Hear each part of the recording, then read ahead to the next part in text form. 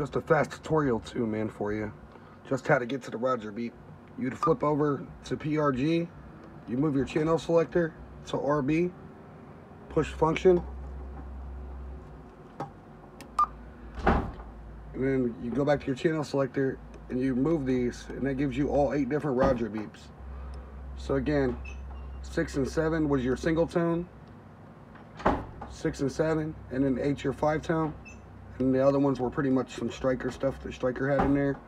Um, and then whenever you get it, like say you want six, you would then just, when you found RB6, flip the switch back over to RB. It'll say Roger beep on, you can key up, go beep, just leave it there. And then basically, you could flip it to the middle, turn it back off.